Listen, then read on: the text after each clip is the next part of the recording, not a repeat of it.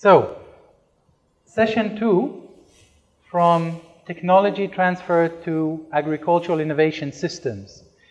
Its objectives are to introduce the agricultural innovation system and cover its main features. Some of it was covered by Bernie this morning already. And look at an overview at the various participatory tools that, you that one should look at. So, the technology transfer approach um, looked at a linear approach where, on the one hand, you had experts who produced knowledge, and then they worked on how to transfer that knowledge to its end users. It assumes that by taking expert knowledge and pushing it down the chain at end users, one can get good adoption and increased productivity. So essentially, this is how it looked. It starts at one end with the researchers, it goes to the extension system, to the farmers, from the farmers to the marketers, and from the marketers to the consumers. That's how the farming system approach looked like under a linear technology transfer approach. The emphasis here is on developing the capacity of research through investment in scientific infrastructure and human capital. And research is not linked to technology users or other sources or other actors in the sector. Does anyone recognize this slide? It's because we went over it this morning. So it basically looks how from the 1960 we started with the technology transfer, the famous green revolution and so on, moved into a farming systems um, analysis and FSR approach, then in the 90s to agricultural knowledge and information system, and finally in this century, the agricultural innovation system. So the approach in each case was covered. I won't repeat it because Bernie went over it this morning, but you clearly see the, the main headings in terms of the approach, and then for each approach there is a distinct role for farmers, role for research and researchers, and what are its intended outcomes, key intervention areas, and what weaknesses do they have. So it's the same Klerkx et al. Uh, study from 2012 that mapped this typology. So again, it moves from the approaches throughout the year until we get to where we are today. And today we speak of agricultural innovation systems. And here's one depiction of how the innovation system can look like. It's composed of primary actors, so those would be our farmers, traders, and so on, into the full value chain from processors, wholesaler, retailer, and all the way to the consumer. What it also depicts is that, you know, you have the macroeconomic conditions, so your weather, climate, economy, as well as you have the enabling environment, so your government, laws, policies, and the context in which it supports, its support systems, and so on. We talked this morning quite in depth about how the agricultural innovation system is a really complex phenomena and a complex system. Part of, the, part of that is looking at identifying what would be the right entry points for innovation to address those complex problems. So, for example, you would not go in and say, I want to tackle problems in agriculture in general. You would go in and say, I want to try to trial how can I remove striga weeds in maize, or how can I look at crop protection, looking at specific points of entries in order to address that. So we start with a current situation. Remember this morning's role play? We're looking at from international to national to subnational, remember the levels? And the various actors that are involved. Together, we bring them through this funnel of this change and innovation action to bring us closer to the desired solution. In your case, ecotourism with sustained rubber in our idyllic um, township. The agricultural innovation system closes the loop by bringing that back into the stakeholders, and the cycle goes on. So it's a much more uh, cyclical approach as opposed to a linear approach. So, what are some of the attributes? When we look at the key words of the linear approach, we hear things like planning, transfer. When we look at the keywords of agricultural innovation system, you hear words like participation, empowerment, community. Yeah? So sometimes just by reading the document or listening to um, the policy, you can actually see in which ideology it is nested. The same things in terms of the decision making. The decision making in the linear was much more centralized. A decision was taken, this technology was developed, and now it will be rolled out. The decision making in an agricultural innovation system is much more decentralized. It's much more participatory, um, and therefore it will be more active at the local level as well, as opposed to being more universal, whether nationally or internationally. the local population would be seen in the linear approach as beneficiaries, which assumes a certain passiveness to it, receiving a particular intervention. Whereas in an agricultural innovation system, it is looked at more as partners or actors within the system. So it's quite a different uh, mindset with regards to um, the approaches, and that comes through in the terminology as well. So, what are some of the limitations of the linear approach? What would you say?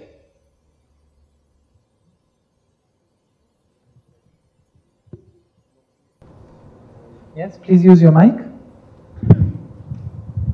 Well, for one, it follows the classic transmission model. Yes. Uni- it's unidirectional, one way.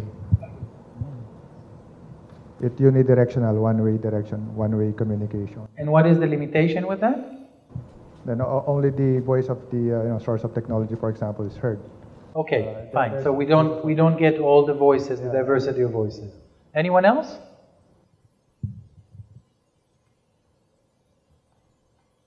Well, there are a number of issues. One is oftentimes we fail to actually meet our users' needs. Okay, I'm going to break the mold because I don't like just reading slides. So I'm going to tell you a story. So you go to a farmer with this blue sweater and you give the farmer the blue sweater and say, Do you like this sweater? He said, Yes, I like this sweater, I'll take it. No problem. And you ask the farmer, Would you buy this sweater? He said, No, I would never buy this sweater. What's wrong with it? You just told me a minute ago that you like it. Yeah, you were giving it away for free. If I have to pay for it, it should be black and it should be from a different material and it should look differently. So oftentimes when we come with an intervention, we just want to give it away, we're missing a lot of very critical feedback from our partners as to what it is really that they want. And the consequence is that we might be meeting, failing to meet their user needs. We also don't have a focus on continuous learning and innovation process, which leaves the communities incapable of being resilient and grappling with the future changes. And that's important. Why? It's important because the future is uncertain, as we said, and unpredictable. So we might have given someone a solution for something that will not be the problem they need to face in five years' time. But unless we've given them the skill set to deal with that, they'll always be dependent on us. It also doesn't take into account local and indigenous knowledge. It creates very little opportunities for interactions be- between different sources of knowledge. So things, innovation is created separately. But this morning, when we watched a whiteboard animation, and an hypothesis was made that it's the interconnectedness that spurs innovation, not a single person in this room um, raised their hand to say they disagree. So there's some inherent faults here with, with this old system in terms of uh, what it can achieve. Innovation has now become the focus of many development projects, and innovation systems are now put in the center of many development projects. That could be a good thing if you agree with what's being said here, but it can also be a, be a dangerous thing. It can also be a dangerous thing when you believe in this, that this is good in its own sake, that this doesn't become a means to an end, but a goal in and of itself. Yeah, we have to always remain very critical about all of these things and see whether they are really helping us achieve what we set out to achieve. The other thing with the technology transfer approach is that it assumed that farmers did not know anything. So I've developed a brand new technology and now farmers need to adopt it. And if farmers are not adopting it, it's because they haven't understood it well enough. So we have to explain it again. It's very hard sometimes for researchers to accept that the reason people don't adopt their practices is because their practices aren't so good and that people actually know best what's right for their context. Yeah? But this is something that was very prevalent in the technology transfer approach. In fairness, if you don't do the agricultural innovation system approach well, you can very quickly find yourself in the same pitfalls. Yeah? So if I come to you and I, I decided what the solution should be, but then we have a nice discussion about it, but then at the end it has to come to that conclusion, that might be more participatory, but you know, it doesn't change the fundamentals. But maybe the salient feature is that today the researcher and the extension workers are learning first from the farmers before coming up with, with findings and recommendations. So the needs based identification is a very key part of this system. As well, and that's associated with that, it used to be that a lot of the research was done on research stations. You know, that's where research gets done. Today, more and more, research is being done and tested at the farm and with the farmers. And that's very important because the conditions that you get in a research station might never be exactly like they are in the various uh, locations where farmers actually work. So, it's more systematic, it's more interactive, and more emphasis is placed on the interactions between the various stakeholders. So a lot has been said, and you'll hear more on that the more you get involved with the system, is capacity to innovate. It's something that gets said a lot, but it's not that easy to define. How would you define capacity to innovate? Would somebody like to venture a definition or an explanation? If you went on a capacity to innovate training workshop, what would you expect the subject matter to be? Not that easy to define. And yet a lot of the system is anchored around capacity to innovate. So it's important to think about what that actually means. And often what the literature tells us is that capacity to innovate is the capacity to adapt to the different um, constraints and challenges which, which are faced and to autonomously come up with solutions that would help overcome that. Yeah? But of course, that can look very differently depending on the context of where you live, the sector of where you work, and so on. Potentially, in the agricultural innovation system, all the actors in both the public and private sectors are involved throughout the chain. So, in creating, diffusing, adapting, and using all types of knowledge. So that's a very big change. And often, the innovation arises through a dynamic interaction amongst most of the actors. So like you were sitting in your groups earlier, you had the different stakeholders interacting. That's essentially the premise of an agricultural innovation system. Bring the stakeholders together and have these kinds of interactions. And for these inter interactions to occur, they need to be open, and draw about the best sources of information wherever they might come from. Not just from a designated source that is designated the best source, but really what the group feels is the best source. Okay, let's check if you're awake after lunch. In the linear model of agricultural extension, agricultural leader research through technology transfer leads to technology adoption and increased productivity. What is the name commonly given to this approach? A, B, C, or D?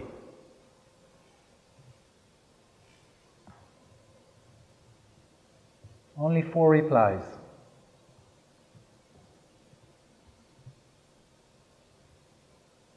Only 14 replies.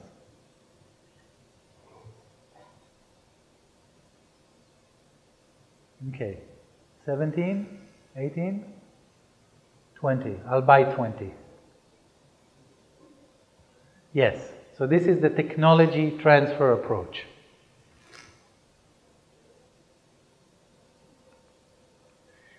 What role did researchers not have under agricultural knowledge and information systems?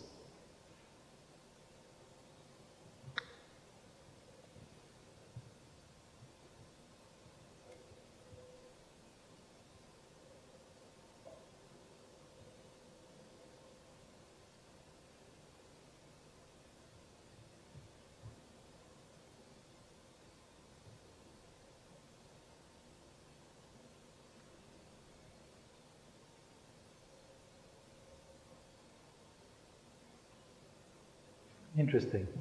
Yes, so they were not facilitators of learning.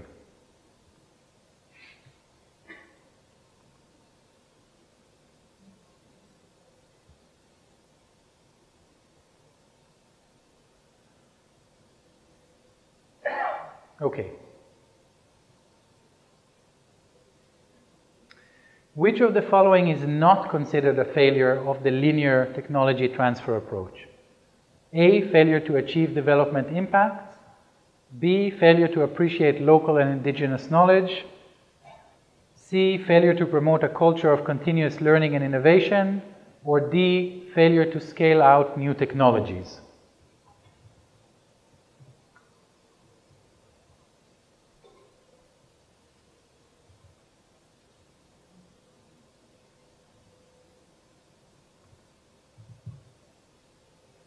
Yes. The majority of room of the room got it right. But still there's a big chunk of the room that didn't get it right. Scaling is actually the one thing that the technology transfer approach did very effectively. Think of the Green Revolution and so on. Yeah? The other areas are all areas where we just discussed it falls a bit short on.